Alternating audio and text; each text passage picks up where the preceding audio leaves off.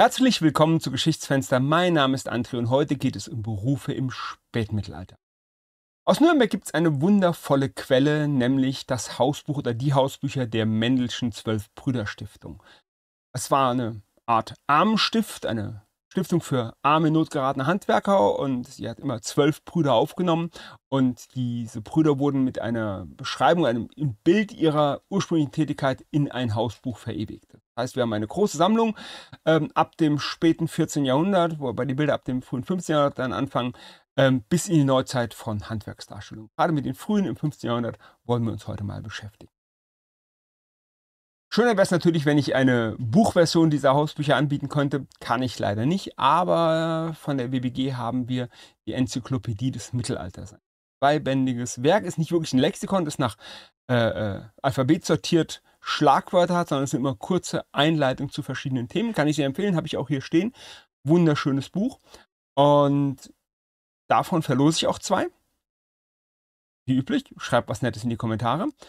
Aber heute habe ich sogar noch ein anderes Buch, mal nicht von der BBG, sondern von einem Gast, der schon mal hier war. Erinnert euch an den Film über Fabelwesen. Mein Gast damals, Florian Schäfer, bringt gerade, äh, ich glaube, sein drittes Buch schon raus. Fast verschwundene Fabelwesen. Und die ersten Bücher von ihm waren Bildbände. Jetzt haben wir es mit einer Art fiktiven äh, Reisebeschreibung eines äh, Kryptozoologen im 19. Jahrhundert zu tun. Die ganze Geschichte ist natürlich fiktiv, aber der reist durch Europa und sammelt oder, oder zumindest erforscht Fabelwesen. Ein wunderschön gestaltetes Buch. Ich zeige ja gleich mal die Seite über das Einhorn. Ähm, gefällt mir ausgesprochen gut, nicht nur, weil er hier ein Bild des Hausbuchmeisters in der Mitte verwendet, das hat er natürlich sofort einen Bonus bei mir, aber wer sich für dieses wirklich schöne Buch interessiert, unten in der Videobeschreibung habe ich einen Link zur, zur Vorbestelleraktion. Unbedingt mal reinschauen, wer sich für sowas begeistern kann, kann ich wirklich nur empfehlen.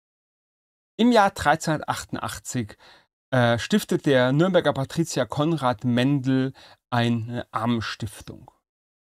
Ein Haus nach äh, Vorbild der, der flämischen äh, Begardenhäuser. Wir haben die Beginen und die Begarden, das ist eine Laienvereinigung, das sind Leute, die in klosterartiger Gemeinschaft, aber in den Städten miteinander leben, zölibatär leben, in Armut leben, aber eben keine Nonnen oder äh, Mönche sind. Und nach Vorbild dieser Begarden wird eben dieses Armenstift gegründet gründet. Da sollen in Not geratene oder in Armut geratene Handwerker aufgenommen werden. Zwölf Brüder gleichzeitig, daher der Name. Und ähm, ihren Lebensabend verbringen. Sie werden dort gepflegt, sie werden dort bekocht, es gibt also auch Personal dort. Und solche Stiftungen waren relativ häufig. Wir haben Hospitalstiftungen, wir haben eben solche Armenstiftungen. Man darf sich jetzt, jetzt nicht vorstellen wie ein Armenhaus. Man kennt es so aus Michel aus Lönneberger, das Armenhaus, wo die äh, in der Verfilmung, wo die dann sitzen und äh, vor sich vegetieren. Also solche Armenstifte haben schon dafür gesorgt, dass die auch lebenswürdig gelebt haben. Es war natürlich aber auch eine, eine, eine äh, klerikale oder zumindest eine Glaubensgemeinschaft. Also Gebet äh, war da sehr wichtig und auch die Kleidung, die wir nachher sehen, die weist darauf hin. Aber das Interessante an dieser äh, Zwölfbruderstiftung, es gab in Nürnberg zwei, es gibt später noch die Landauer Zwölfbruderstiftung, die wird aber erst 1501 gegründet. Ähm, beide diese Zwölfbruderstiftungen haben Hausbücher geführt und da wurden eben die Handwerker äh, abgebildet in ihrer ursprünglichen Tätigkeit. Das heißt, wir haben ein riesiges Konvolut an äh, Darstellungen von Handwerkern. Das geht auch bis ins, ich glaube sogar bis ins 19. Jahrhundert, ganz frühe 19. Jahrhundert, in den letzten Bilder. Das Ganze wird dann im Zuge der Säkularisierung 1806 aufgelöst, aber bis dahin haben wir eigentlich durchgehend diese Armenstifte in Nürnberg. Und da wollen wir jetzt einfach mal reinschauen, denn allein fürs 15. Jahrhundert haben wir über 100 Abbildungen von Handwerkern. Hier haben wir den Nachfahren von Konrad Mendel, Peter Mendel, der 1473 stirbt, also zu der Zeit äh, der Patron dieses Hauses ist, der Geldgeber dieses Hauses ist. Und man sieht hier auch eben das Knien vor dem Altar. Das Ganze hat auch immer einen religiösen Charakter. Solche Stiftungen sollen natürlich als gute Tat zählen, sollen natürlich auch für Seelenheil da sein. Und wie so oft sind auch die, sowohl die, die Bewohner verpflichtet für den Stifter zu beten, aber auch für die wird gebetet. Also auch deren Seelenheil nach ihrem Tod, darum wird sich gekümmert. Das ist immer ein ganz wichtiger Teil dieser Stiftung. Und wir gehen einfach alphabetisch durch. Es ist natürlich keinerlei Anspruch auf Vollkommenheit. Wir können nicht sagen, das sind alle Berufe, die es in Nürnberg zu der Zeit gab, aber es ist ein guter Querschnitt. Nürnberg ist, was Berufe angeht, sowieso eine Ausnahme. Wir haben keinerlei Zunft in Nürnberg. Äh, 1349 äh, werden die Zünfte in Nürnberg verboten. Wir haben in fast allen großen Städten eine Auseinandersetzung zwischen dem Patriziat und den Handwerkern. In den frühen Städten ist es eigentlich immer so, dass die Patrizier oder zumindest die städtischen Adligen das Sagen haben, einfach weil sie von den Stadtherren eingesetzt sind. Das sind entweder die, die, die äh, Ministerialen des Königs oder der Bischöfe oder der Klöster, jeweils des Stadtherren. Und im Laufe der Zeit kommen dann noch die Fernkaufleute dazu, bis so im 14. Jahrhundert meistens die Handwerker versuchen, äh, in die Regierung zu kommen. In manchen Städten sind sie sehr, sehr erfolgreich. Da können sie das Patriziat zum Teil komplett verdrängen. In anderen Städten, wie zum Beispiel in Nürnberg, sind sie nicht erfolgreich und werden verdrängt.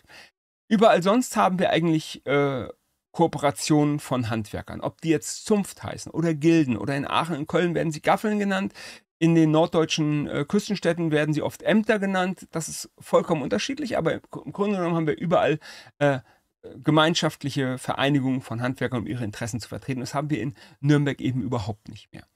Ähm, stattdessen gibt es das Rugamt, das ist eine, eine städtische Verwaltung, die die Aufgaben übernimmt, die die ähm, äh, Lehrlings- und Gesellenprüfung übernimmt, die Freisprechung übernimmt, auf die, dieses Rugamt muss dann auch geschworen werden.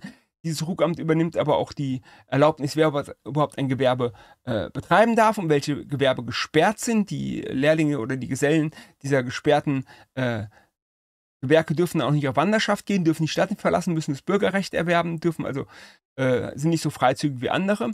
Ähm, und Gleichzeitig ist dieses Rugamt auch für die Qualitätssicherung da. Also das ist was anderes, wo die Zünfte eben machen, die, die äh, Waren beschauen und sowas macht eben auch das Rugamt. Das ist eine Besonderheit an Nürnberg.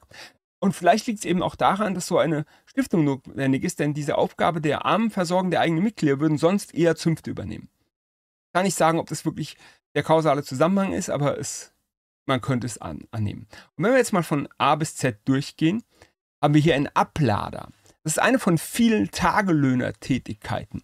Ähm, also wirklich einer, der äh, für den Warentransport zuständig ist und der dann die angekommene Ware ablädt. Eine Art von Träger quasi. Und hier sieht man eben auch eine offene Wagenkonstruktion, die mit Fässern beladen wird, seitlich beladen wird. Ganz interessante Konstruktion. Und wie gesagt, gleich am Anfang, die Kleidung dieser Leute ist überhaupt nicht repräsentativ, denn das ist Stiftskleidung. Das ist im Prinzip eine Art von Mönchskutte und darüber eine Kugel. Das ist absichtlich äh, so angelegt. Die tragen eine Kleidung in ihrem Stift. Das ist nicht die Kleidung, die sie in ihrem privaten Leben getragen haben. Wir haben ein paar wenige Ausnahmen, darauf werde ich gleich hinweisen. Aber das ist so ein Irrtum, der häufiger mal kommt, wenn die Leute sich mit dieser Bildquelle auseinandersetzen, ähm, dass die Kleidung falsch gedeutet wird. Wir haben auch immer den Namen dazu. Also ich kann sagen, dieser Ablader hier hieß Ulrich Windig und ist 1481 gestorben. Diese Daten haben wir immer parat. Ich kann also das Jahr sagen und den Namen, fast immer. Ähm, hier haben wir einen ähnlichen Beruf, das ist der Ablasser, 1474 gestorben, Kunz Kastner.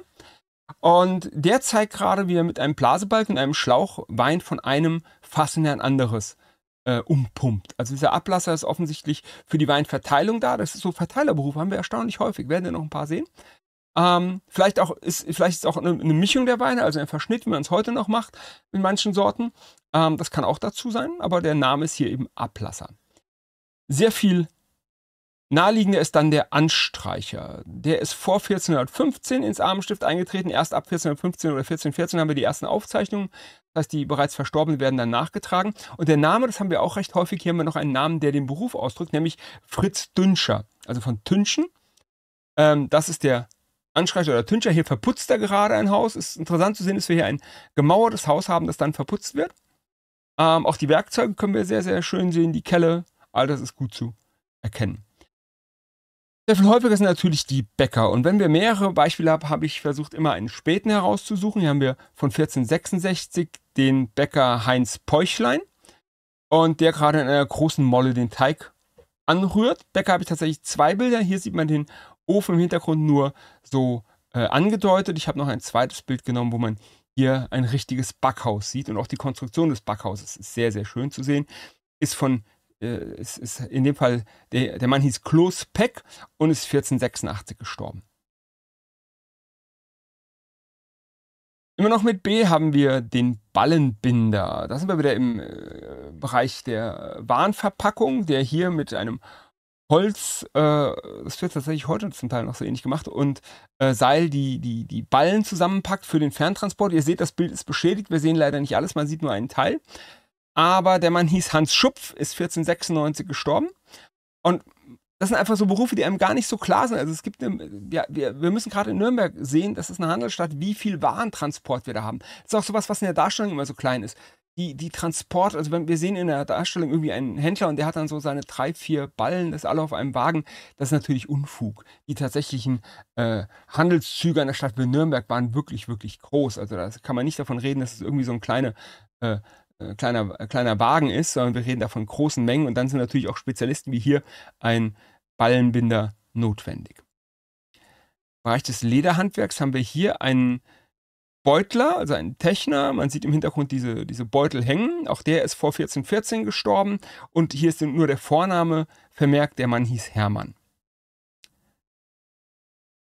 Ebenfalls vor 1414 ist dieser Bierbrauer gestorben. Der Mann hieß äh, wieder ein toller Name, Hertel Pierprau. Und was hier lustig ist, oben das, was wie ein Davidstern aussieht, hat in der Zeit noch überhaupt nichts mit dem Judentum zu tun. Gar nicht. Das ist ein Strohstern, der ausgehängt wurde, wenn Bier ausgeschenkt wurde. Das ist ein Zeichen, das haben wir mehrfach, dass dann eben angezeigt wird, frisches Bier ist da. Und hier haben wir eben nicht den, den Haus, die Hausbrauerei, die oft im, im Privaten gemacht wird, sondern hier haben wir tatsächlich eine größere, äh, eine, eine größere äh, Skala an Brauerei. Hier wird wahrscheinlich auch kein einfaches dünnes Bier gebraut, sondern eher schon ein Starkbier. Also anzunehmen, kann man natürlich nicht nachweisen. Dann haben wir mit Konrad Eschenlöhr einen Blechschmied von 1463. Und da sieht man sehr, sehr schön im Hintergrund diese äh, Kannen. Ich habe so eine ähnliche Kanne, die ist als Zinnkanne ausgeführt. Ähm, hier ob es hier Zinn ist, das wurde oft gegossen oder ob es ein anderes Material ist, kann man natürlich nicht, nicht gut sagen, aber man sieht sehr, sehr schön, er hat hier die vorgefertigten äh, Metallplatten, die kann man tatsächlich auch so in Nürnberg erwerben. Also Nürnberg ist ein Spezialist für äh, solche Halbzeuge und da sieht man im Hintergrund, man sieht einen Trichter, man sieht eine abstellbare Kanne, man sieht mehrere von diesen Kannen, die aufgehängt sind. Also das ist wieder ein sehr schöner Einblick in so die, in die Alltagsgegenstände. Dann haben wir ein Bild, das haben wir schon mal verwendet im Film über Boten damals. Das ist Kunst Stirne, der 1462 gestorben ist und er war wohl ein städtischer Bote, denn er trägt diese Dose um den Hals mit dem Wappen von Nürnberg darauf. Und das weist ihn eben auch äh, aus als städtischen Boten Nürnbergs. Er ist vom Rat berufen.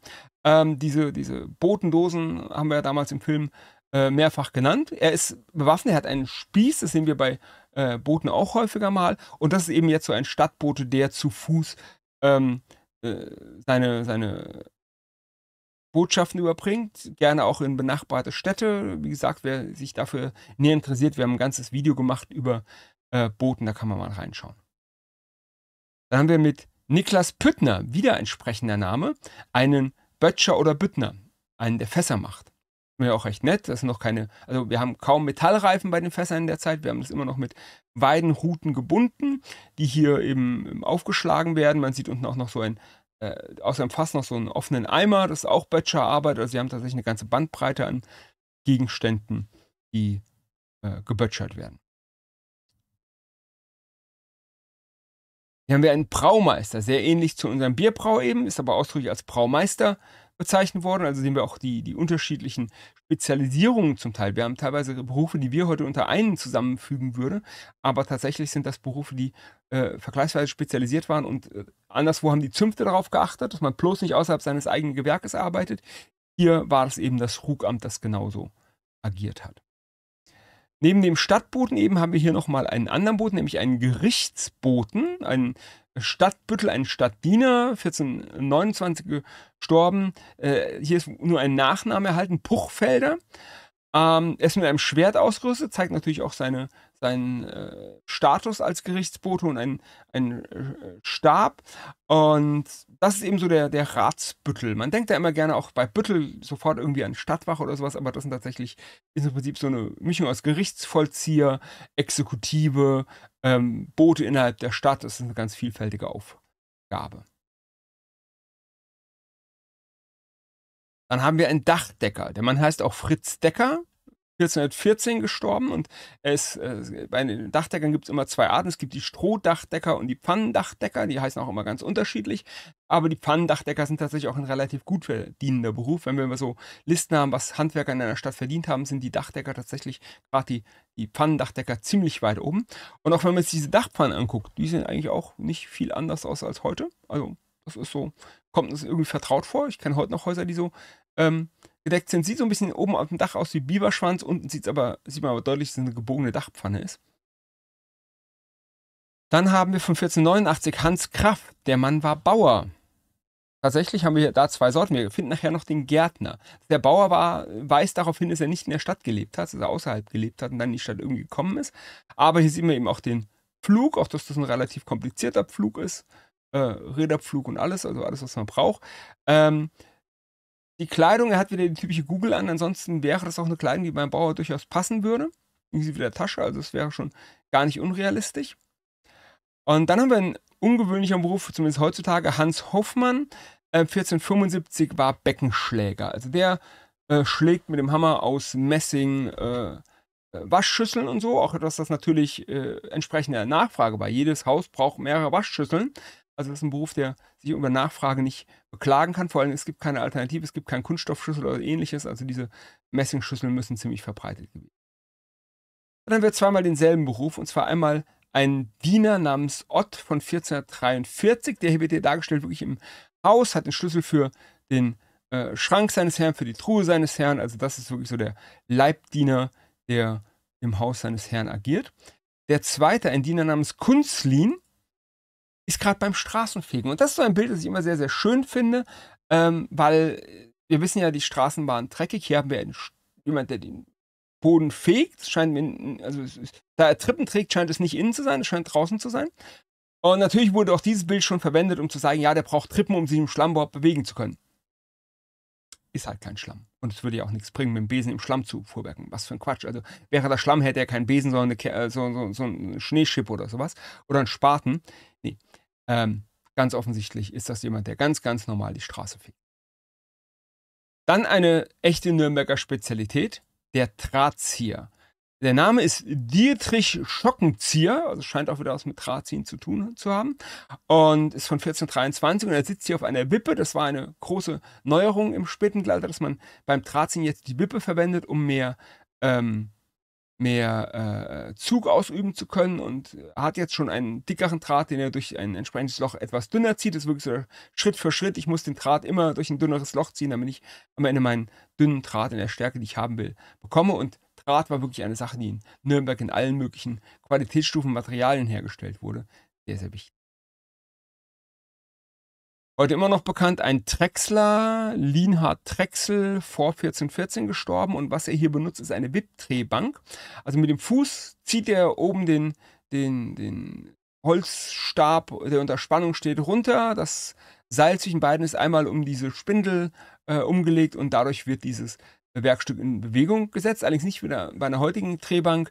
Äh, in dieselbe Richtung als Dauerrotation, sondern es rotiert hin und her. Das heißt, mit dem Werkzeug muss er im entsprechenden Rhythmus absetzen und wieder ansetzen. Damit Werkzeug ist nicht beidseitig nutzbar, sondern nur einseitig, damit er drechseln kann. Aber auf solchen, auf solchen WIP-Drehbänken kann man durchaus sehr, sehr schöne Drechselarbeit machen. Ich habe mehrere Teller, die auf so einer Bank entstanden sind. Da kenne ich mehrere äh, Nachbildungen. Also ist doch eine sehr, sehr funktionale Angelegenheit.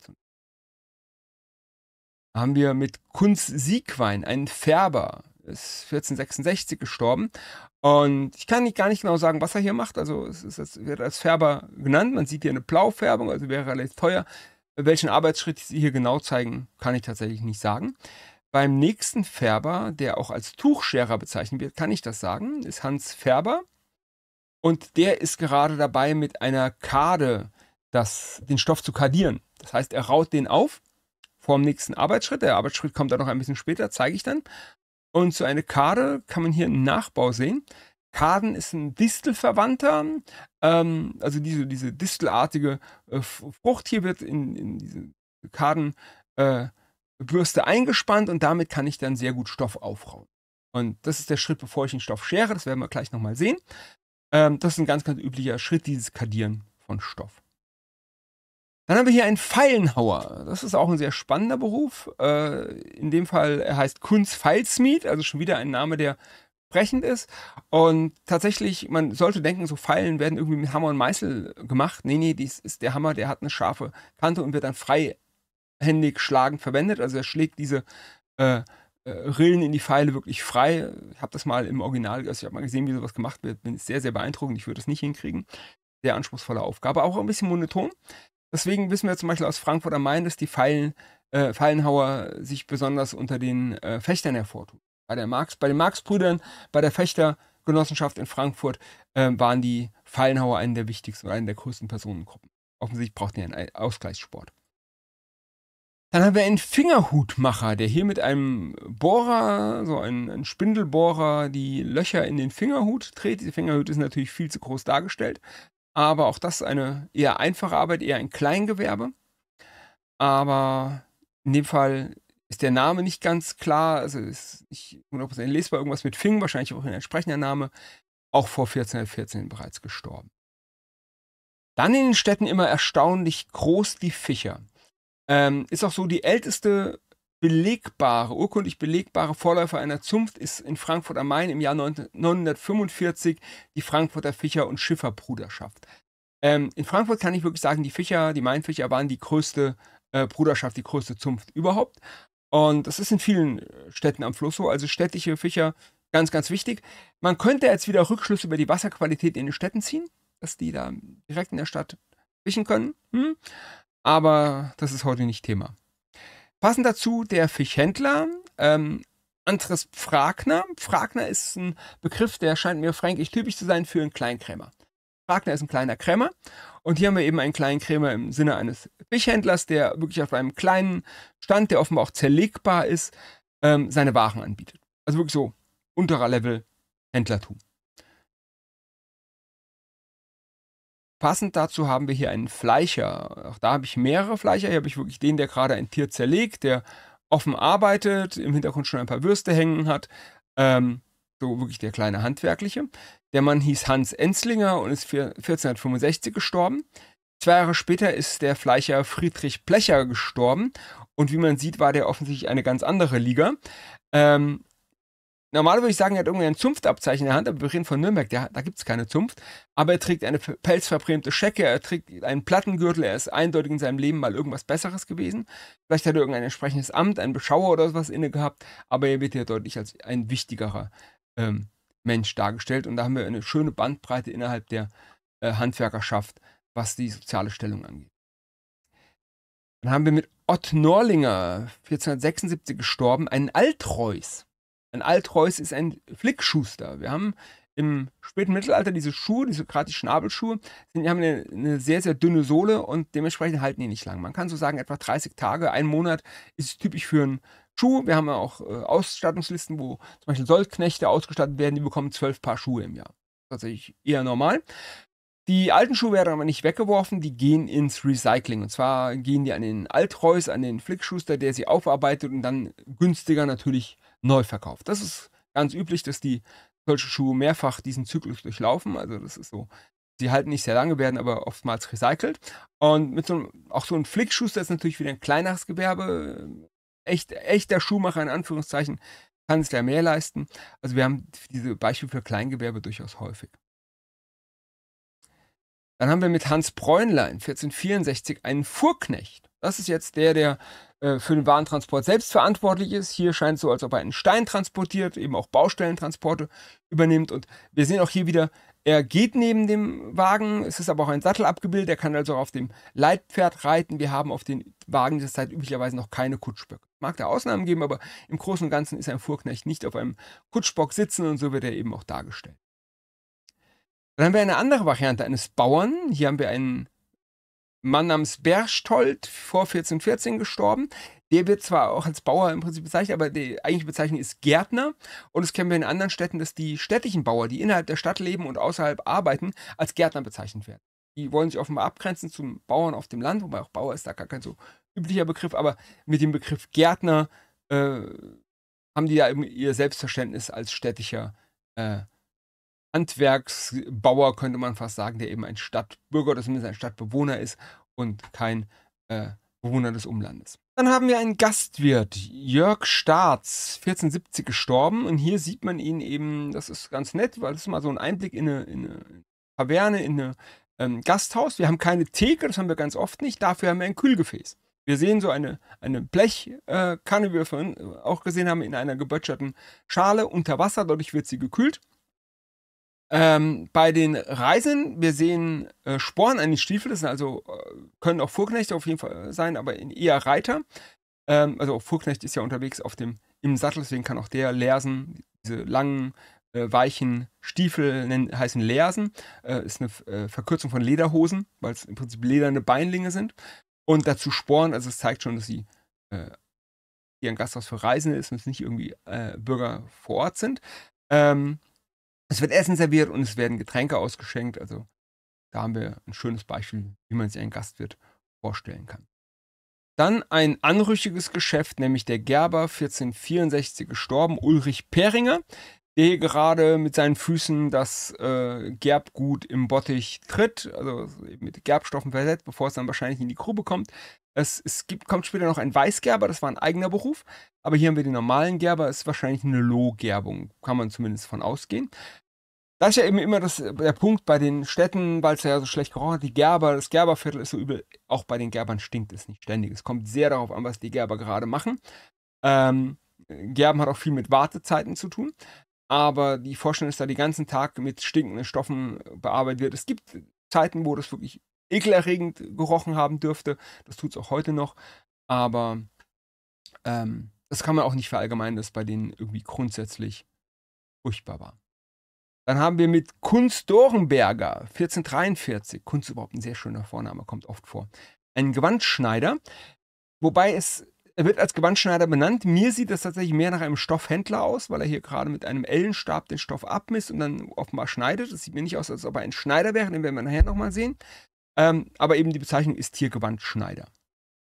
Ähm, schön ist auch zu sehen, die, die, die verschiedenfarbigen Stoffe und so. Also hier ist kein einziger grauer oder brauner Stoff dabei. Das ist alles äh, als sehr bunt dargestellt.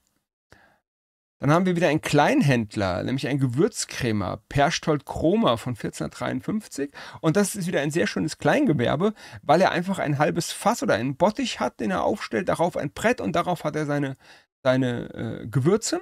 Und das ist jetzt, wir hatten ja gerade die Hanse, da hatten wir die große äh, Gewürzhandel, Nürnberg ist ja auch an der entsprechenden Handelsstraße, da kommen die Gewürze aus äh, Venedig hoch. Und das ist jetzt im Prinzip das letzte Glied der Warenkette. Also der, der, äh, das Schiff kommt in Venedig an, es werden große Mengen ausgeladen, die werden dann an die Abnehmer weitergeleitet. Der Abnehmer in äh, Nürnberg ist auch ein größerer Kaufmann, der das dann eben weitergibt. Und äh, hier haben wir jetzt eben den Kleinkrämer, der das von seinem äh, Lieferanten übernimmt und dann im Kleinen verkauft, der sogenannte Detailhandel. Und das wäre genau das, was ich im äh, Hanse-Video erwähnt hatte, dass die Lehrlinge und Gesellen diesen äh, Einzelverkauf machen. Hier haben wir eben einen kleinen Krämer. Nett ist noch zu sehen die Waage. Da gibt es immer die Frage, wer darf eine Waage überhaupt benutzen. Viele Städte haben das eingeschränkt. Goldschmiede sind oft eine Ausnahme, aber eben auch Gewürzhändler, weil die ja sehr, sehr kleine Mengen äh, handeln äh, müssen, äh, dürfen oft eine, so eine Waage besitzen. Jetzt mache ich einen großen Sprung ins 16. Jahrhundert, weil ich den Beruf einfach nicht auslassen wollte. Da sind wir bei, im Jahr 1554, Niklas Klusel, ein Glaser.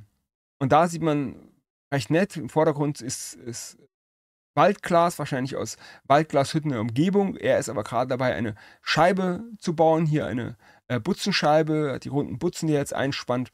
Und da haben wir leider kein Bild im 15. Jahrhundert, aber ich fand es einfach zu nett, um es nicht zu zeigen.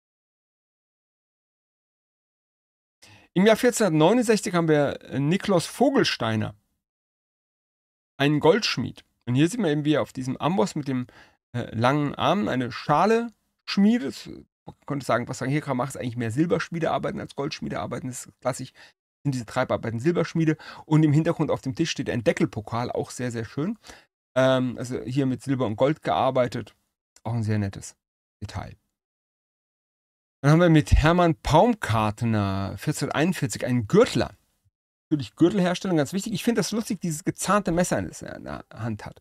Wenn es ein Messer ist, ich kann es gar nicht genau sagen. Vielleicht ist auch irgendein Gegenstand, mit dem er da gerade einen, einen Stempel ins Leder drückt. Kann auch sein. Ich habe keine Ahnung, was der in seiner rechten Hand hält.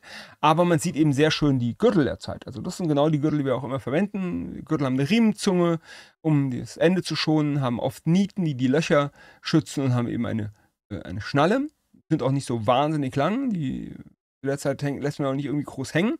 Aber das ist eben so ein immer wieder auftauchendes Kleidungsstück, das eigentlich jeder braucht. Dementsprechend ist der Gürtel ein ganz wichtiger Beruf. Dann Bereich, den ich immer gerne benutze, der Harnig-Polierer.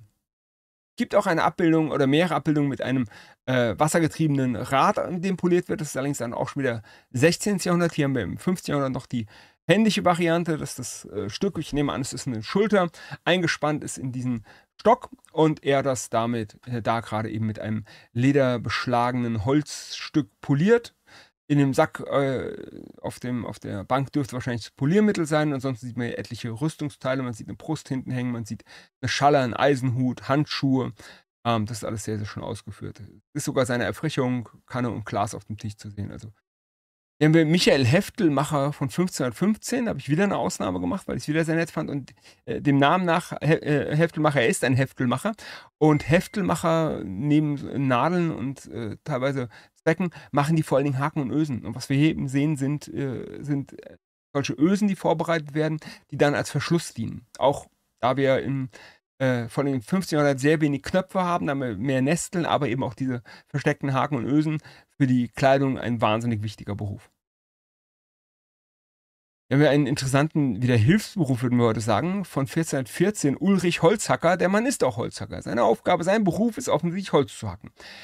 Klingt jetzt erstmal merkwürdig, aber ähm, haben wir nachher noch einen Verwandtenberuf.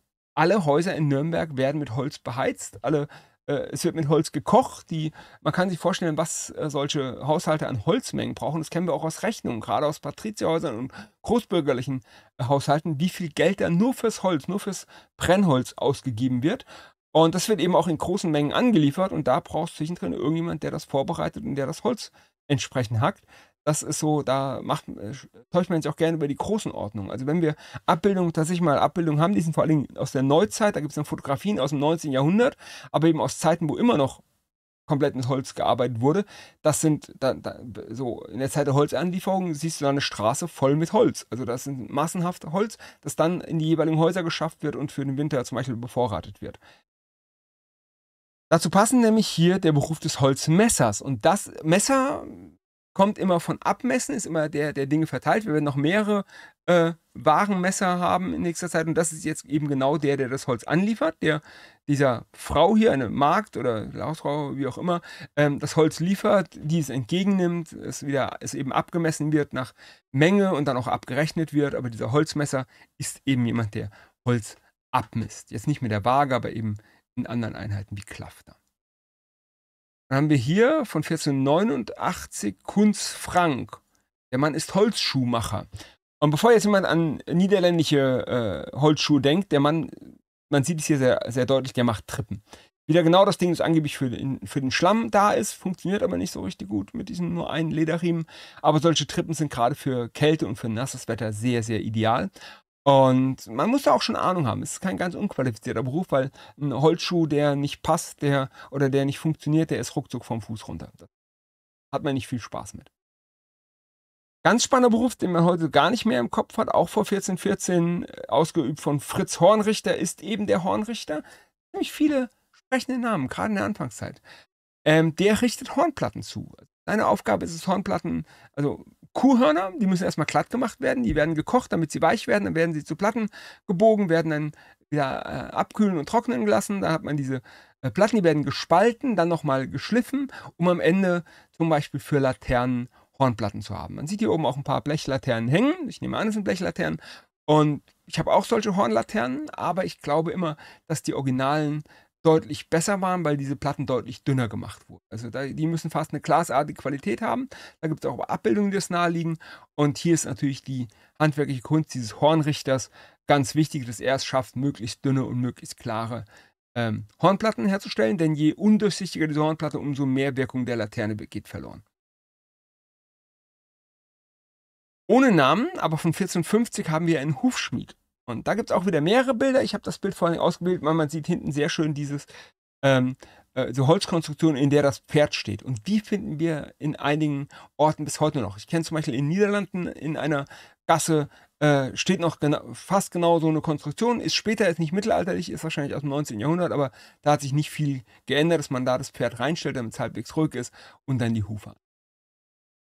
Nettes Detail ist außerdem hier beim Spiel mal eine Schürze zu sehen. Also nicht so die Schürze, wie man sich gerne vorstellt, auch noch Oberkörper geht. Diese Schürzen sind fast immer in der Form, dass sie nur bis zum Gürtel gehen, aber da haben wir mal eine explizite Arbeitskleidung.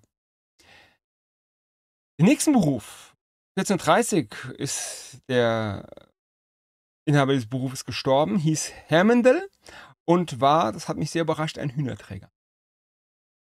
Wie auch immer man Hühnerträger wird, aber seine Aufgabe ist offenbar, diesen mit einem Vorhängeschloss verschlossenen äh, Käfig, den er auf dem Rücken trägt, mit Hühnern zum Markt zu tragen oder vielleicht auch von einem äh, Hühnerzüchter zum nächsten. Ich habe da keine Ahnung, aber der Mann hat sein Geld damit verdient, dass er Hühner durch die Gegend getragen hat. Wir haben noch einen Hutmacher. Das sind die sogenannten Zootechtenhüte. Das ist eine ganz spannende Art, Hüte zu machen. Man nimmt so einen normalen Filzhut und dann zieht man Fäden durch. Wollfäden, manchmal sogar Seidenfäden. Die werden dann, geben dann so eine Art Kunstpelz, der wird dann oft noch, äh, das, das Ganze quasi durchschlauft, äh, haben die dann äh, Schlaufenmuster, die man mit der Schere auftrennt. Dann sieht das Ganze fast pelzartig aus. Bisschen dicker, gibt eine sehr äh, wollige Oberfläche, die aber auch zum Beispiel sehr wasserresistent ist. Also ist eine sehr clevere Konstruktion. Leider heutzutage echt teuer nachzumachen. Aber man sieht eben so, diese, diese Hüte waren sehr, sehr, sehr beliebt.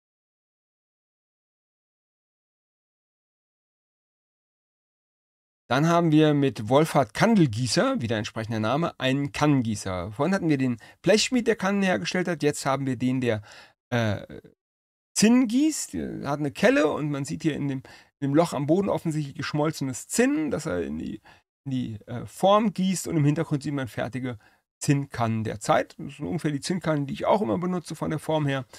Ähm, also auch wieder ein Beruf, der heute so ein bisschen ausgestorben ist, damals wichtig. Dann haben wir einen Kaufmann. Und dieser Kaufmann wird auch mal ein bisschen anders dargestellt. Er hat immer noch die Google, aber er hat wieder eine pelzverprämte Schecke. Er trägt einen besseren Gürtel. Er hat mit Ketten daran befestigt eine Börse. Und er steht eben genau vor der Fernhandelsware in Säcke und zu Ballen äh, gebunden, Fässer da hinten. Die Frage ist jetzt, wieso ein Kaufmann im Armenhaus landet. Denn letztlich die Zwölfbruder-Stiftung ist ein Armenhaus. Und der scheint schon einen deutlichen Abstieg hinter sich zu haben, dass er am Ende eben als ehemaliger Kaufmann da landet.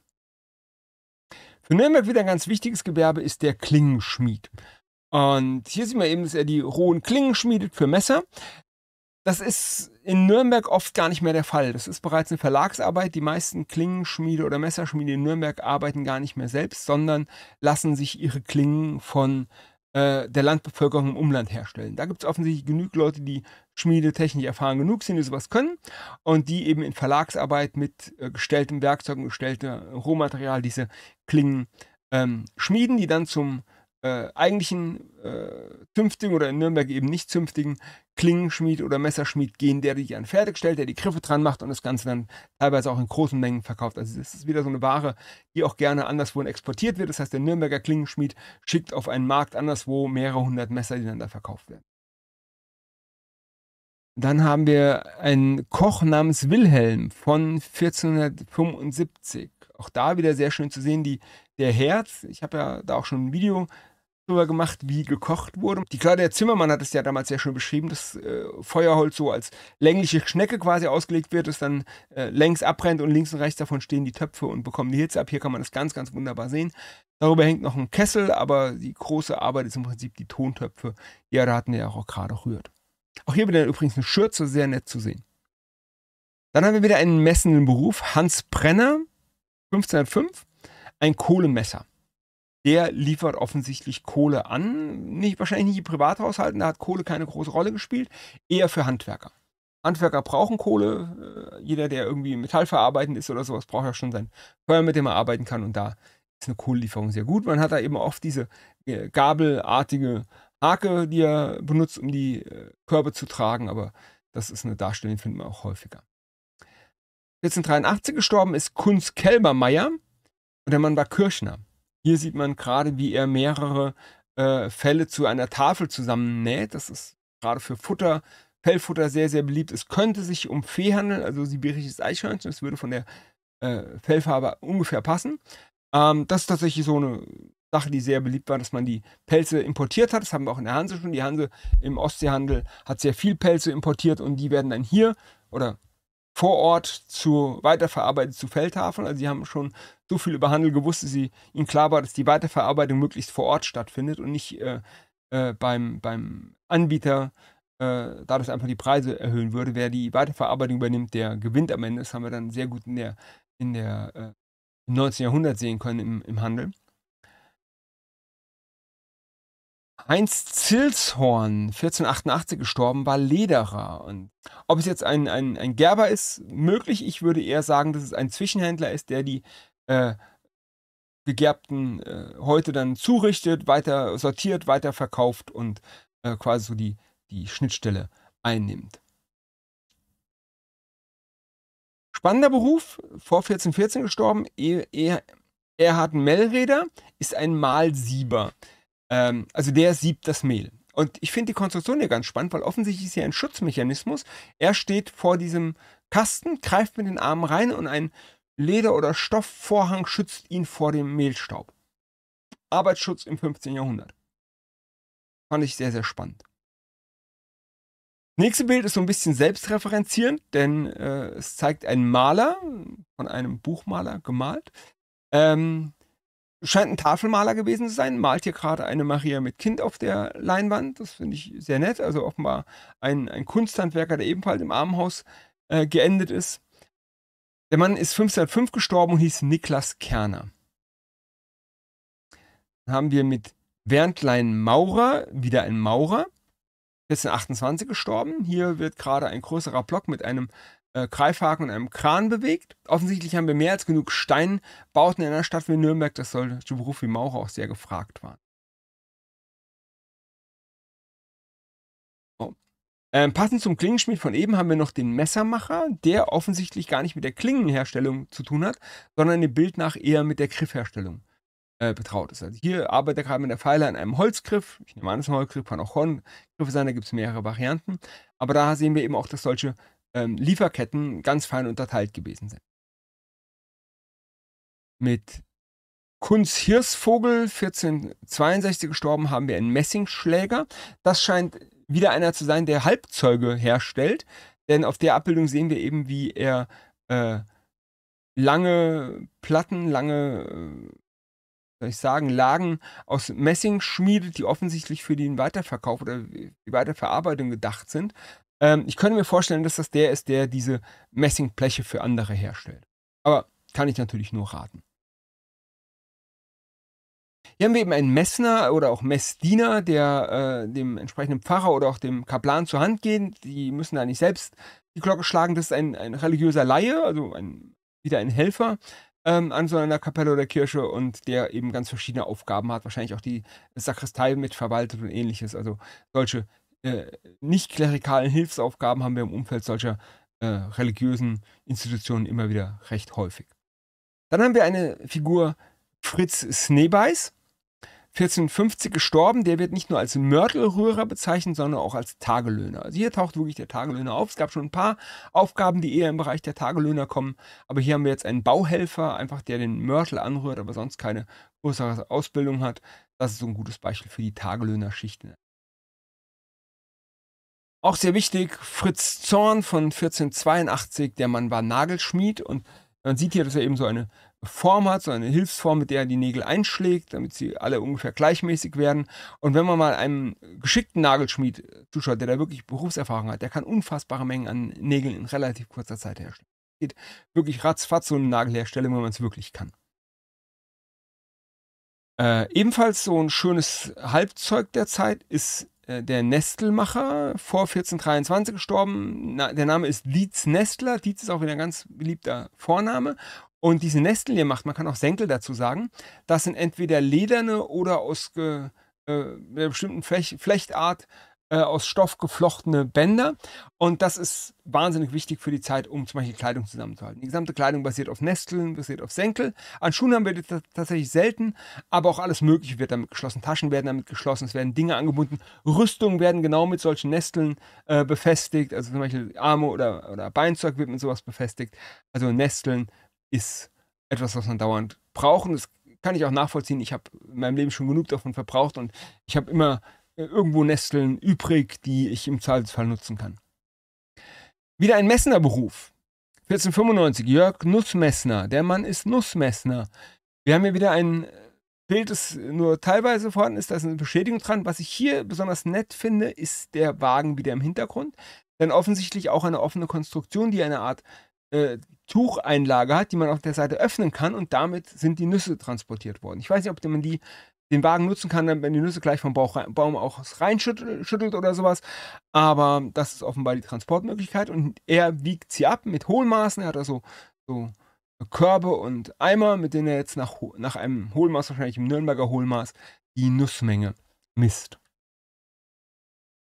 Auch heute eher selten ist der Paternostermacher. Der arbeitet hier mit auch so einer Mini-Bib-Drehbank, also einem Bogen, dreht den Bohrer. Vorne ist ein dreiköpfiger metallener Bohrer drinne und was er da in, der, in seiner linken Hand hält, das ist eine Scheibe Knochen. Das ist ein, äh, meistens Rinderknochen, ähm, herausgeschnittene Scheibe, in die er jetzt diese, mit diesem dreispitzigen Bohrer kann der da Perlen raus äh. Das heißt, äh, die beiden äußeren Klingen machen quasi die Kugel, die innere Klinge macht das Loch. Das heißt, wenn der dann fertig ist, hat er direkt eine gelochte Perle. Und man sieht hier rot und schwarz gefärbte Paternoster oder ähm, äh, äh, Rosenkränze, die er eben aus diesen Knochenperlen herrscht. Es gibt, ich kenne auch jemanden, der eine sehr schöne Darstellung eines äh, Paternostermacher macht. Das sieht ganz genau so aus. Ebenfalls so ein Gewerk ist Fritz Piermetter 1423, der als Pergamentmacher arbeitet. Und das ist eben sehr basal. Die Haut wird aufgespannt, hier mit, einem, mit der Klinge bearbeitet, abgeschabt, dann getrocknet, entsprechend gekalkt, damit am Ende ein gutes Pergament rauskommt. Ich meine, die werden gekalkt, bin ich mir nicht ganz sicher, vielleicht erzähle ich auch Unsinn. Aber so Pergamentherstellung, gerade in einer Stadt wie Nürnberg, kann man sich vorstellen, was da an Pergament gebraucht wurde. Und dementsprechend ist es ein Beruf, der erstmal sehr nachgefragt ist. Ändert sich mit dem Papier dann ein bisschen, aber letztlich ist bis heute, gibt es heute noch Abnehmer für Pergament. Dann ein Beruf, den es eigentlich nicht geben sollte, wenn man vielen Dokus über das Mittelalter glaubt. Denn wir wissen, die Straßen waren allesamt ungepflastert und dementsprechend braucht kein Mensch einen Pflasterer wie den hier 1456 gestorben, auf den Namen Heinrich hörend.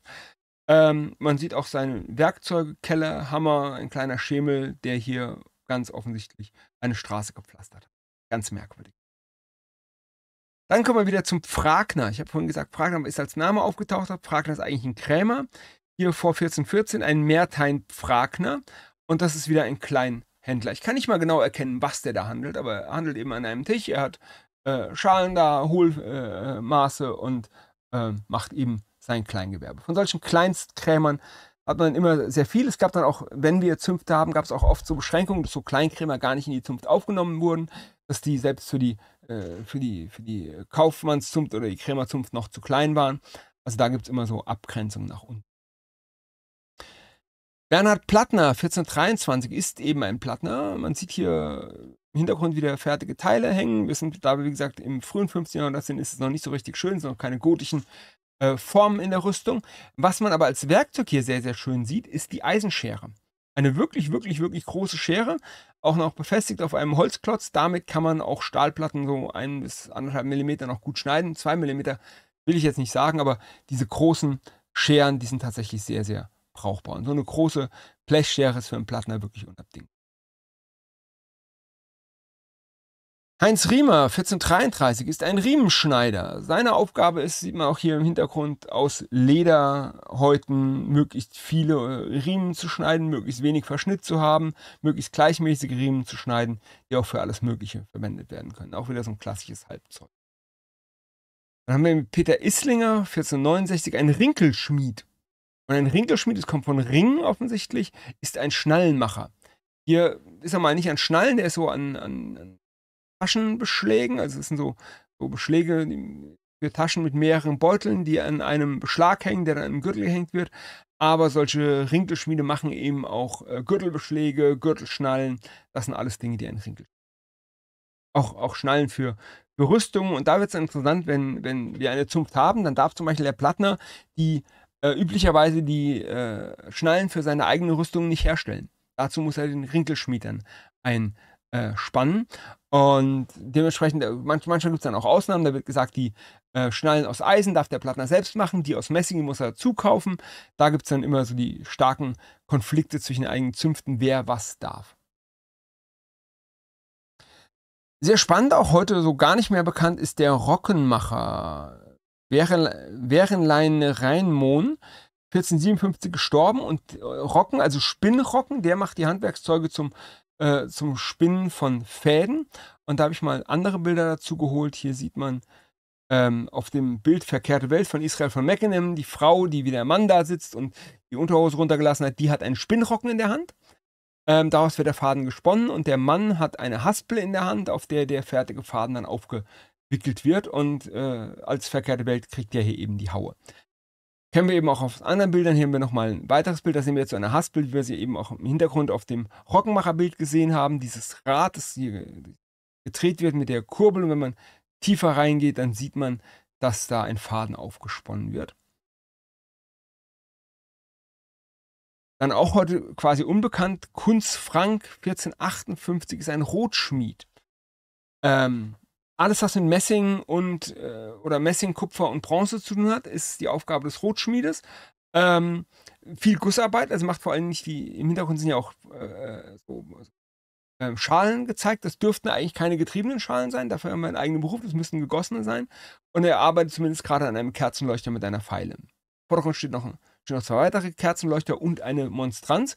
Wir sehen also auch so Monstranzen, die sehr, sehr prächtig daherkommen, sind oftmals darunter ähm, aus Messing oder äh, Bronze, eher Messing, werden dann versilbert oder vergoldet, um prächtiger auszusehen. Und passend dazu gibt es noch einen zweiten Beruf. Jakob Mullner 1471 ist nämlich Rotschmied-Former. Das ist der, der hier möglicherweise aus Ton die Gussformen für genau diese Objekte macht, die wir gerade gesehen haben. Also auch da wieder eine Arbeitsteilung. Der eine darf die Form herstellen, der andere darf dann die Endbearbeitung machen. Scheint nicht ganz dasselbe gewesen. Dann haben wir von 1482 Heinz Weiker, einen Sackträger. Auch wieder ein Hilfsberuf, der hier gerade den Sack ins Haus trägt. Ein, ein, man kann sich vorstellen, für die Versorgung der Häuser war ein Träger eine feine Sache. Man muss nicht alles selber schleppen. Und offensichtlich gibt es hier Tagelöhner, die als Träger arbeiten. Ebenfalls nicht so richtig qualifiziert, 1443, äh, Kunz Brendel, ein Säger. Also eine, eine menschliche Kreissäge, der äh, hier offenbar Balken sägt. Man sieht, die Säge ist eher für zwei Leute gemacht. Er steht da barfuß auf dem Balken oben. Ein zweiter würde wahrscheinlich unten mithelfen, aber solche ähm, Sägen Später gibt es auch Sägen mit, äh, die, oder zu der Zeit äh, genauso, die mit Wasserkraft arbeiten, aber äh, manchmal ist der Säger vor Ort einfach wichtiger und dementsprechend haben wir hier wieder einen offenbar Tagelöhner, der als Säger arbeitet. Ein Beruf, den wir gerade kürzlich erst hatten, ist der Saarwirker. Haben wir vielleicht sogar das Bild gezeigt, ich weiß es gar nicht mehr. Man sieht im Hintergrund auf einer Stange einen Ringpanzer hängen, umgangssprachlich auch Kettenhemd gezeigt, äh, genannt. Vorne sitzt der äh, Saarwirker mit Zangen, Hammer und einem Miniaturamboss zum Vernieten und arbeitet an einem Stück Ringpanzer. Zu der Zeit, als das Bild entstanden ist, war der Ringpanzer schon gar nicht mehr so eine wichtige Rüstung. Die ist schon im deutlichen im Verschwinden äh, äh, begriffen, aber es gibt immer noch eine Nachfrage für gut sitzende und gut angepasste Ringpanzer, gerade Unterrüstung. Wer eine äh, maßgeschneiderte Rüstung hat oder auch eine Turnierrüstung, trägt darunter immer noch Ringpanzer und da brauchen natürlich eine angepasste Rüstung. Also den Beruf gibt es noch, die waren sind auch noch relativ teuer, aber die Schutzwirkung ist natürlich weit zurück hinter der einer zum Beispiel eine, eine, eines Plattenpanzers. Da haben wir mit Ulrich Schwab von 1470 einen Sattler. Schön zu sehen. Äh, er hat einen Sattel, er hat äh, mit Steigbügeln daran, er hat einen äh, Kummet. Aus dem Kummet. Ähm, solche Arbeiten sind auch heute noch klassische Sattlerarbeiten, damals eben.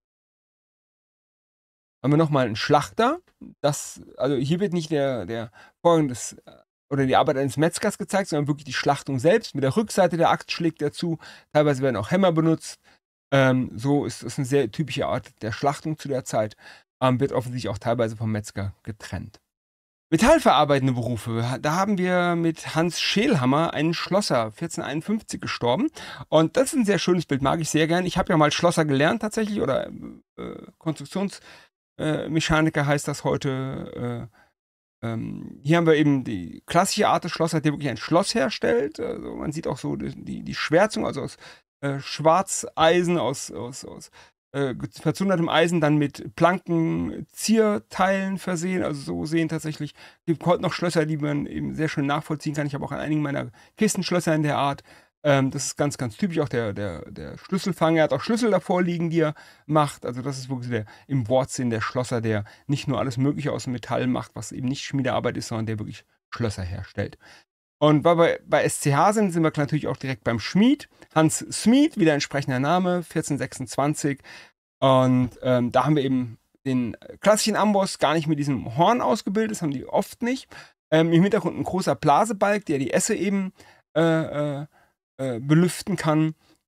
Und sein sonstiges Werkzeug auch wieder eine, eine hübsche äh, eine hübsche Schürze als Arbeitskleidung. Das ist wieder ein sehr ergiebiges Bild. Auch am unteren Ende der Handwerker, auch da, wo wir Zünfte haben, ist der Schneider angesiedelt. Äh, Hans Frumann, 1446 gestorben, offenbar kein ganz armer Schneider, denn zum einen macht er pelzverprämte Kleidung, sehr, sehr teuer aussehend.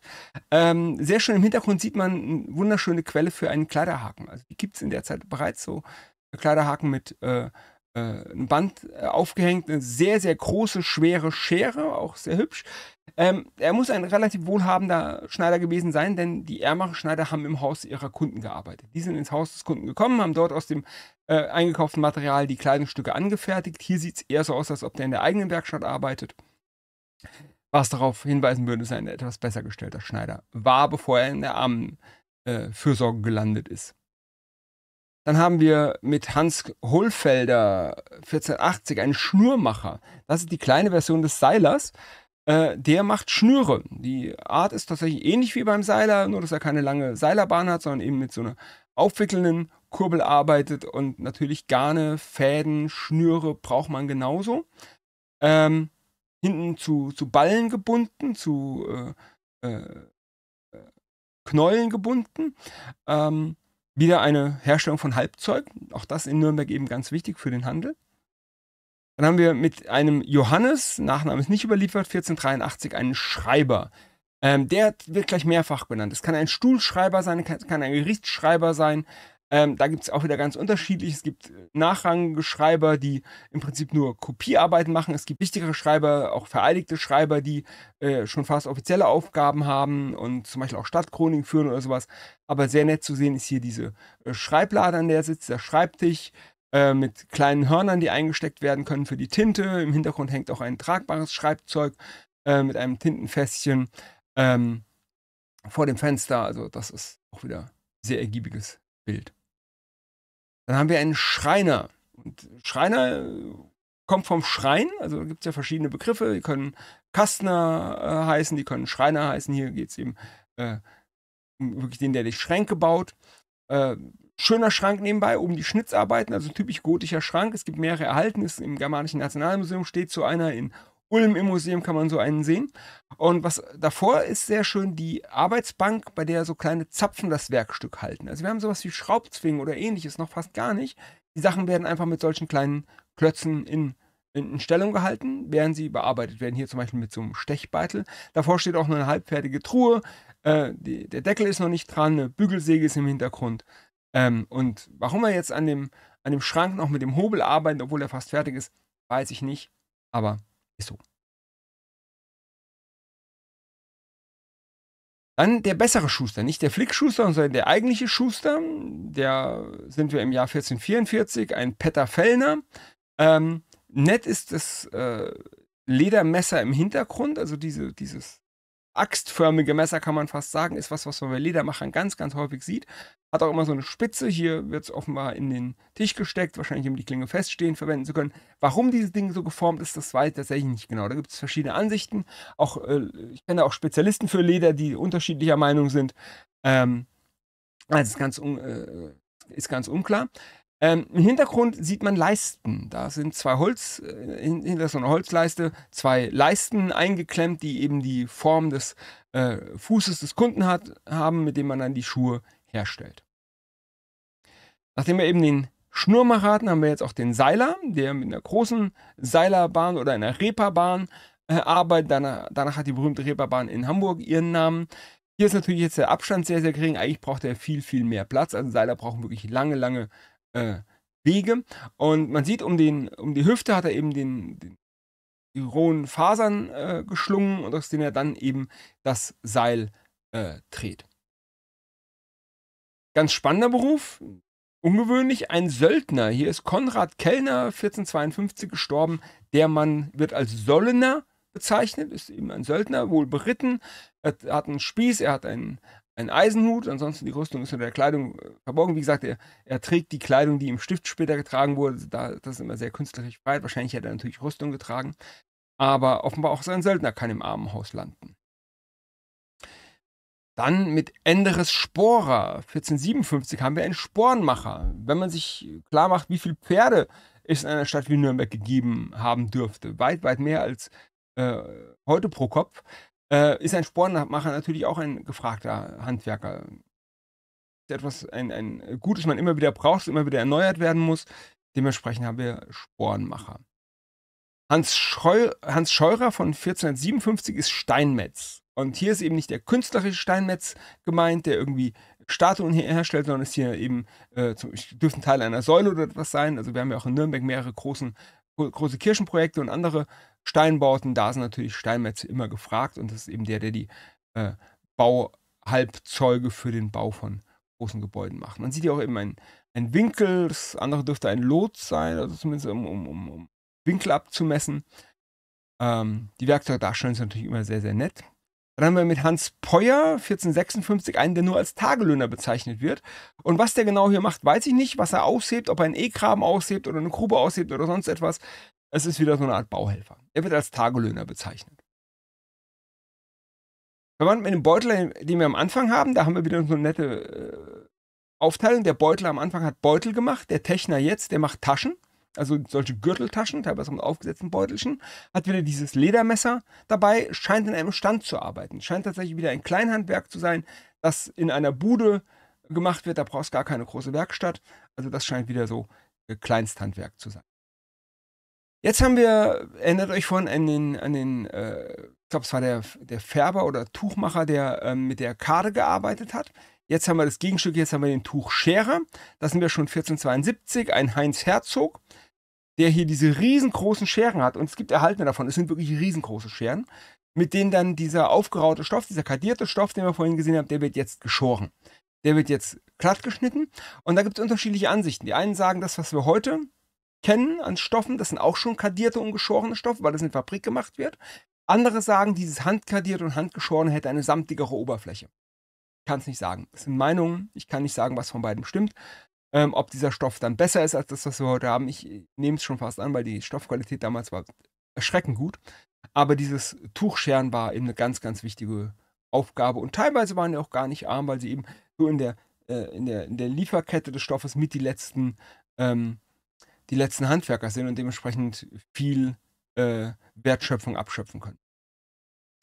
Dann für eine Stadt wie Nürnberg ganz wichtig, Jakob Priesner 1490, der Mann war Türmer. Hier sitzt er oben im Turm, hat eine, eine, eine Fanfare, eine Trompete, einen Bahn, ein, ein, Horn für Signale. Und diese, diese Türmer hatten eine Anwesenheitspflicht. Die hatten genaue Vorgaben, wann sie im Turm sein mussten, wann sie nicht im Turm sein sollten. Die haben nach Feinden ausgeschaut, die haben äh, äh nach Bränden Ausschau gehalten. Es gibt auch in Nürnberg einen sehr schönen Lageplan, wo Türmer waren, wer von ihnen eine Glocke hatte, wer von ihnen eine Uhr hatte. Ähm, die waren für die, für die Ansage der Zeit zuständig, die haben also die Stunden angegeben. Ähm, es ist immer so die Idee mit der Stadtwache, des Städte Stadtwache haben. Die Türmer sind tatsächlich so ein ganz wichtiger Sicherheitspunkt, denn die kriegen mit, wenn irgendwo Ärger ist. Und dann wird Alarm geschlagen und dann äh, kommen zum Teil auch äh, ähm, die, einfach die Bürger, die Wehrpflicht haben, zusammen und schauen nach dem Rechten. Aber solche Türmer waren eben, äh, gehörten zu den, zu den bewaffneten Bütteln einer Stadt, die dann aber eben im Turm geblieben sind. Dann haben wir einen Paul oder Paulus von 1481, der Mann war Vogelfänger. der hier ist, ich, ich nehme an, es ist eine Leimrute, die er hat, sitzt getarnt in so einem Verschlag, hält die Leimrute oder auch eine, eine Klemmrute aus, da gibt es verschiedene Varianten. Und mit denen fängt er, ich nehme an, hier Singvögel, oben könnten sogar Falken sein, also fängt Vögel, die er dann verkauft. Dann haben wir mit Kunst in der Waag vor 1414 einen Waagmeister. Also eigentlich auch wieder eine, eine Vertrauensstellung, eine wichtige Stellung. Diese hier an einer so großen Waage, solche großen Wagen waren meistens Stadtwagen. Also in vielen Städten war der private Besitz solcher großen Wagen nicht erlaubt. Es gab dann eine Stadtwaage, die man benutzen musste. Teilweise waren es auch Gebäude, in denen mehrere Wagen sich befunden haben. In Mainz zum Beispiel im Kaufhaus gab es mehrere Wagen und da konnte man dann gegen Gebühr seine Wagen wiegen lassen. Natürlich war das eine wichtige Vertrauensstellung, die waren vereinigt, dass sie auch richtige Gewichte angeben. Ihr merkt, wir nähern uns langsam dem Ende, aber es sind noch ein paar da. Wir haben noch den Wagner, also der Stellmacher, der Wagner, der Wagenteile baut. Hier baut er gerade ein Rad.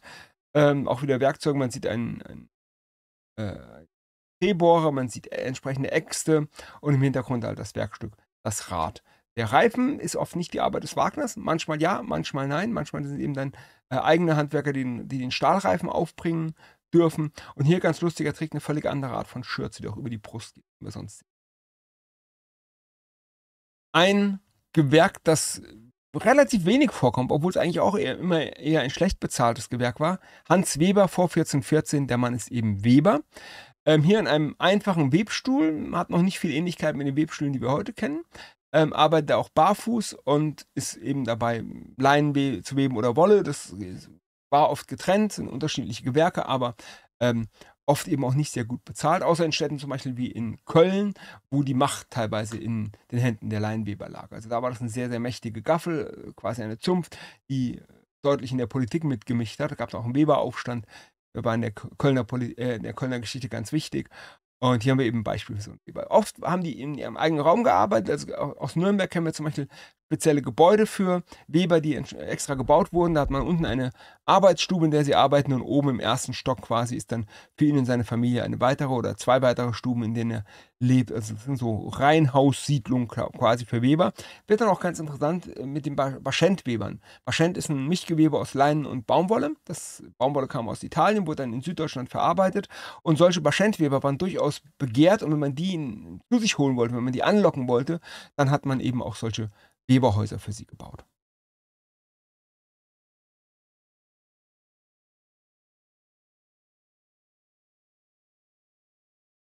Dann haben wir einen Weinknecht oder Wirt, Hans Schneevogel, 1497.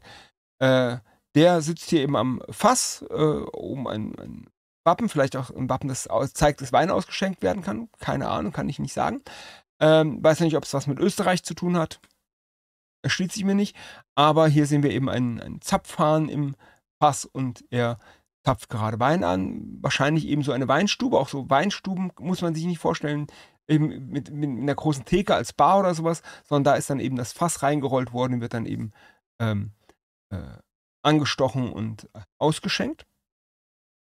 Dann haben wir noch den Weißgerber, hat ihr schon genannt, 1473 gestorben, Fritz Egen. Und ein Weißgerber ist jetzt einer der, eben Weißgerbung sind so Sachen wie, wie, wie, äh, äh, wie Sämiggerbung, aber auch Klassegerbung, also wo ein wirklich weißes Leder hergestellt wird. Ganz, ganz feine Lederarbeiten, eben abgetrennt von der Lohgerbung, von der gröberen, von den gröberen Ledersorten. Ähm, hier sieht man gerade, wie er mit diesem Eisen die, die Haut enthaart, die ist eingelegt worden, das Haare kann man jetzt entfernen, das heißt, die wird hier jetzt so planken Haut, die man danach eben weitergerbt. Solche, solche äh, Weißgerbarten sind, gehen auch meistens schneller als äh, Lohgerbung, die braucht tatsächlich lange Zeit in der Gerbgrube. Diese Sachen gehen ein bisschen einfacher, sind allerdings auch nicht so, also beim, beim, beim Lederherstellen ist immer die Frage, wie beständig ist diese äh, äh Gerbung, vor allem wenn das Leder nass wird. Wenn diese Gerbstoffe, die da in den, äh, in den ins Leder eingezogen sind und das Leder weich machen, einfach durch Wasser wieder rausgewaschen werden können, dann ist das eine eher äh, unhaltbare Angelegenheit. Und da gibt es eben verschiedene Gerbarten. Das ist auch so ein Problem mit der Bewertung von äh, mittelalterlichem Leder, wenn es so um Sachen wie Lederrüstung oder sowas geht. Das, was wir heutzutage haben, sind oft Chromgerbungen. Das sind eben moderne Gerbarten, die mit dem Mittelalterlichen nur ganz bedingt was zu tun haben. Das kann man nicht eins zu eins über, übertragen in vielen Fällen. Haben wir einen Winzer vor 1423 in der Region. Das ist eine ähnliche Stellung wie die Gärtner in der Stadt. Wir haben natürlich auch Winzer in der Stadt, die die Weingärten um die Stadt bearbeiten. Und Weingärten haben wir bis nach Hamburg hoch. Also es war ganz üblich, dass Städte Weingärten hatten. Und hat eben ein Rebmesser in der Hand, so, so, eher so ein Sichelmesser, hat einen Strohhut auf, sehr, sehr schöne Abbildung eines Strohhutes. Und dann haben wir noch so einen, so einen Zwischenberuf, nämlich den Wollkämmer. Der macht offenbar nichts anderes, als die fertige Wolle zu kämmen, zu reinigen, sauber zu machen und sie für die Weiterverarbeitung vorzubereiten. Auch wieder ein Kleinsthandwerk, das man mit sehr wenig Aufwand ähm, betreiben kann. Dann haben wir einen Wundarzt. Der scheint hier irgendwie gerade mit Salbe zu arbeiten. Was nett ist, man sieht hier, zum einen, er hat ein Nürnberger Wappen, er scheint ein städtischer Wundarzt zu sein, er scheint auf irgendeine Art und Weise vereidigt zu sein. Und man sieht diese Apothekerdosen sehr schön. Die werden auch teilweise, diese Bezeichnung Apothekerdosen wird auch teilweise kritisiert. Hier hat sich tatsächlich mal den Kontext. Ähm, vor allem auch ein Kästchen mit vier Einteilungen, vielleicht für Salben. Und ähm, der Wundarzt ist ja eben der, der, der, der gelernte Wundarzt, nicht der studierte Arzt, sondern der, der eben sich äh, mit Chirurgie beschäftigt, der die äh, auch, auch Eingriffe macht, aber eben auch so Salben verschreibt und so etwas. Und das ist hier ein sehr, sehr schönes Beispiel. Dann haben wir passend zum Spornmacher vorhin den Zaumstricker. Das ist der, der die Zaumzeuge macht. Ähm, ich kenne mich jetzt mit Zaumzeug einfach viel zu wenig aus. Ich sehe, dass es so Gebissteile sind. Ich sehe, dass es Zügel sind. Ähm, relativ vielfältiges Arbeitsfeld. Er muss mit Leder umgehen, er muss mit Metall, mit Metall umgehen. Jetzt wieder die Frage, darf er die Teile, zum Beispiel die Metallteile selber machen oder muss er sie zukaufen? Aber ähm, das ist relativ weit gefächerter Berufsstand. Dann der Zimmermann. Hier wirklich auch so als klassischer Zimmermann, der hier gerade eine Balkenkonstruktion, eine Hauskonstruktion aufstellt. Auch wieder die Äxte und der Bohrer als Werkzeuge. Zimmermänner waren auch eigentlich auch relativ äh, gut bezahlte Berufe. Und zuletzt haben wir noch den Zöllner. Das ist so, man denkt auch immer, man kommt zur Stadt und dann stehen da sofort die bewaffneten Wachen. Gibt es auch wenig Quellen dazu. Was man eben hat, ist ein Zöllner ihm gegenüber, da ist mir jetzt auch sehr schön der Unterschied. Er trägt wieder diese Stiftskleidung, der andere, hier ist mal eine, ein Stiftsfremder gezeichnet. Ähm, da sieht man eben auch eine andere Art von Kleidung. Er trägt zwar auch eine Google, die trägt er aber über dem Kopf, ähm, zahlt offenbar gerade sein, sein äh, Zoll für den Wagen im Hintergrund. Was er da in der Hand hält, sieht, sieht ein bisschen aus wie ein Spiegelei, kann es aber nicht sein. Also ich habe keine Ahnung, was der da gerade in der Hand hält und warum da ein roter Punkt drauf ist. Erschließt sich mir nicht. Aber eben solche, solche Zöllner als äh, städtische Gehilfen an den Toren waren natürlich nötig und wichtig. Ich bin jetzt ausschließlich im 15. Jahrhundert geblieben, mit ein paar wenigen Ausnahmen aus dem 16. Jahrhundert, aber diese Berufe werden weit, weit in die äh, Neuzeit äh, weitergetragen. Also in diesen äh, beiden Stiftungen, sowohl die Landauer als die Mendelsche, führen diese Hausbücher. Die, die Landauer ähm, setzt erst nach dem Mittelalter ein. Die habe ich hier gar nicht berücksichtigt. Die Bilder, die ich hatte, waren alle aus der Mendelschen Zwölf-Brüder-Stiftung. Aber ich kann nur raten, da mal reinzuschauen. Lohnt sich wirklich eine ganz großartige äh, Übersicht. Ich habe die Homepage unten verlinkt. Das ist sehr, sehr gut aufbereitet. Zum einen, diese Bilder sind alle gemeinfrei. Man kann nach Belieben ver verwenden. Schreiben sie auch. Aber natürlich die Zuordnung, die ist eine Transkription der Texte da. Ähm, es ist, man kann nach Berufen suchen, man kann nach Werkzeugen suchen, man kann Berufsgruppen suchen. Also es ist eine wirklich sehr, sehr gut aufgemachte Seite, die ich nur empfehlen kann. Es ist eine großartige Quelle, die man sich, der man sich bedienen sollte. Ich hoffe, es war so ein bisschen Aufzählung. Es hat jetzt, ich, hab, ich hoffe, ich konnte es ein bisschen in den Kontext setzen, aber es war so ein äh, Querschnitt über die Berufe, die man in der Stadt hatte. Natürlich fehlen Berufe. Es fehlen äh, sogar ein paar sehr wichtige Berufe, gerade die man in der Zeit gehabt hätte. Ähm, äh, Kompassmacher, Nürnberg, ganz wichtig, fehlt. Ähm, aber auch Massenberufe. Es ist eine zufällige Verteilung. Es sind wirklich nur die Berufe, die, äh, von denen wir äh, Mitglieder haben, die so arm geworden sind, dass sie dann in diesem äh, Armenstift geblieben sind. Und wir haben hier etwas über 100 ähm, Berufe bei 12 Plätzen. Also kann man grob sagen, etwas unter acht Jahren war die durchschnittliche Zeit, die man in so einem Armstift dann verbracht hat.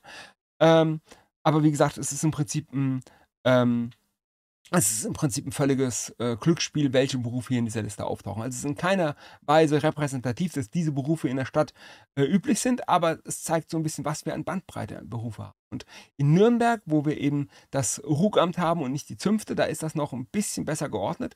In anderen Zünften wird das nochmal im Detail verkleinert, weil wir dann äh, Spezialisierung haben. Der eine darf dies machen, der andere darf das machen. Da haben die Zünfte eben ihre Hand drauf. Also wir haben eine Unmenge an Berufen. Das wurde später oft zusammengefasst. Deswegen denken wir auch in, in, in, in größeren Berufsgruppen, selbst so, so was ich mal gelernt habe, eben Schlosser, ob der jetzt Balkongeländer äh, aufbaut oder ob der Stahlträger macht, ist derselbe Beruf. Im Mittelalter hätte man dann gesagt, nee, der eine macht mehr Pfeilarbeit, der macht so die kleinen Sachen und der andere macht ja große Arbeit, das ist ein ganz anderer Beruf. Hat man damals so nicht gemacht. Ähm, was ebenfalls fehlt, sind natürlich auch so Berufe wie äh, äh Papierherstellung war in Nürnberg ja auch wichtig. Wir haben keine Drucker hier drin gehabt. Also es, das fehlt alles. Trotzdem hoffe ich, es hat einen guten Überblick gebracht. Ich hoffe, es hat so auch ein Bild der Zeit gebracht, wie vielfältig diese Berufe sind, was auch dahinter steckt teilweise. Es gab Berufe, die mit sehr wenig arbeiten konnten. Es gab Berufe, die mehr Werkzeug brauchen. All diese Abbildungen sind aber im Prinzip auch wieder unterkomplex. Sie zeigen ein, eine Vorstellung. Sie zeigen nicht, was wirklich in einer Werkstatt nötig war. Also die, die eigentlichen Werkstätten muss man sich tatsächlich größer vor. Ja, ich hoffe, ihr hattet Spaß daran. Ich freue mich auf nächste Woche mit einem neuen Thema. Und bis dahin, macht's gut, bleibt gesund.